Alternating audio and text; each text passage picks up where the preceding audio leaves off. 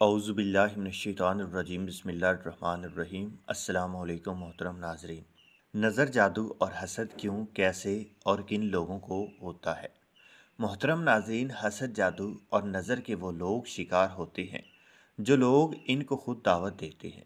پیارے دوستوں، اگر آپ لوگ یہ چاہتے ہو کہ آپ ان سے دور رہیں، تو آپ یہ چار کام لازمی کیا کرو۔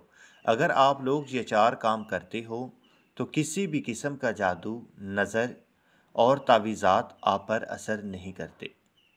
پہلا کام، ہر روز ایسی جگہ پر جاؤ جہاں تازہ ہوا موجود ہو، کیونکہ اس سے اللہ پاک کی قدرت تمام نحس چیزوں کو آپ سے دور کر دیتی ہے۔ دوسرا کام، خوش رہا کرو، حاضر دماغ رہا کرو، گزرے ہوئے حالات کو یاد مت کیا کرو۔ جو انسان غمزدہ رہتا ہے، اس پر نظر جادو حسد کے اثرات جلدی مرتب ہوتے ہیں۔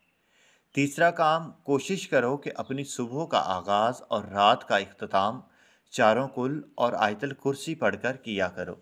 اس سے آپ کے چاروں طرف ایک حصار بن جاتا ہے اور کوئی بھی نحس چیز اللہ پاک کے کرم سے آپ کے قریب نہیں آتی۔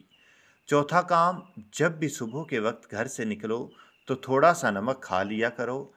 اس سے ایک روحانی طاقت آپ کے چاروں طرف ایک دائرہ بنا لیتی ہے۔ جس کی وجہ سے کسی بھی قسم کے جادو، نظر، حسد اور تعویذات کے اثرات سے آپ کا وجود دور اور پاک رہتا ہے۔